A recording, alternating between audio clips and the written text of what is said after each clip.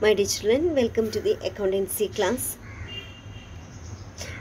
We have already studied that the important financial statements of the company are trial balance, trading and profit and loss account, and balance sheet.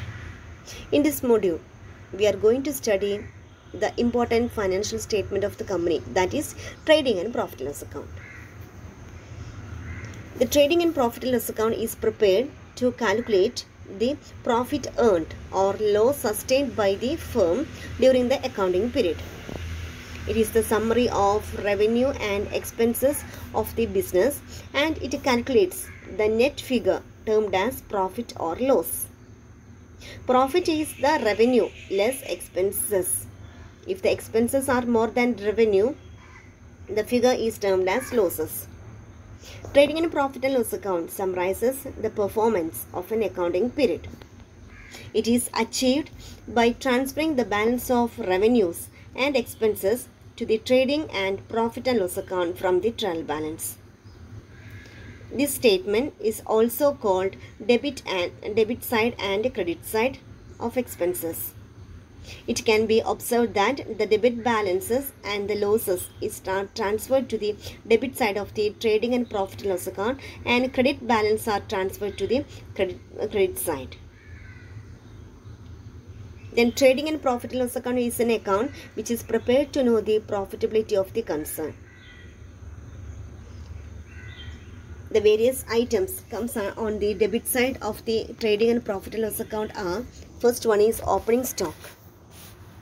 Opening stock is the stock during the beginning of the accounting period. This opening stock is the closing stock or the stock at the end of the previous year.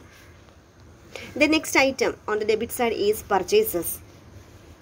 If there is any returns on purchases, that item should be deducted from the total purchases. The goods which have been brought for the resale appears on the purchase on the debit side of the trading account.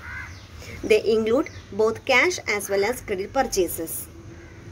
Goods which are uh, returned to the suppliers that is purchase return are termed as are termed as purchase return. That item should be deducted from the total purchases. Then after entering opening stock and purchases, the next we have we want to enter all the direct expenses.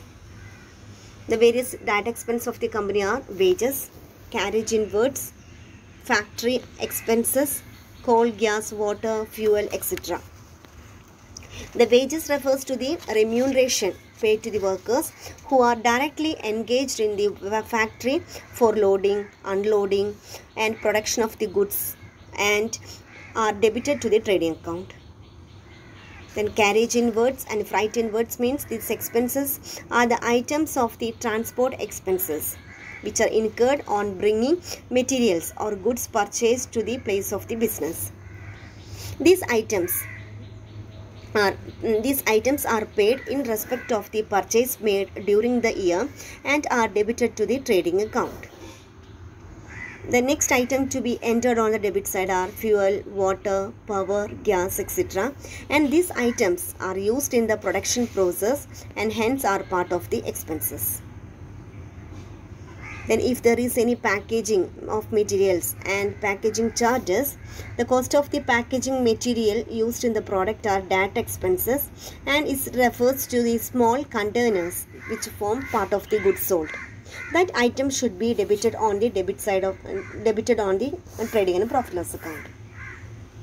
Then on the credit side first we want to uh, record sales. If there is any sales return that item should be deducted from the sales amount. Then after entering sales amount on the credit side next item to be recorded is closing stock. Closing stock is the stock at the end of the accounting period after entering all these items, the next step is to calculate the amount of gross profit. Gross profit is also known as trading profit of the company. Gross profit of the company can be calculated in two ways. First one is by preparing trading and profit loss account. The differences between sales and closing stock and opening stock purchases and that expenses, the net amount is known as gross profit.